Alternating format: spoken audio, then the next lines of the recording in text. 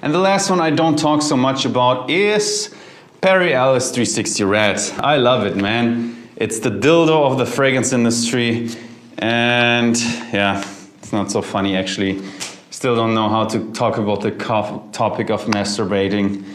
It's difficult, man. I, I do it, but I don't come. And, uh, you know, it's, it's just like, a, if I can be that honest, but it's simply to boost my power type of vibe. All right, ultimately, of course, I want to have a girlfriend and a wife. Turning that girlfriend into a wife and have great kids. So that's Perry Ellis 360 Red.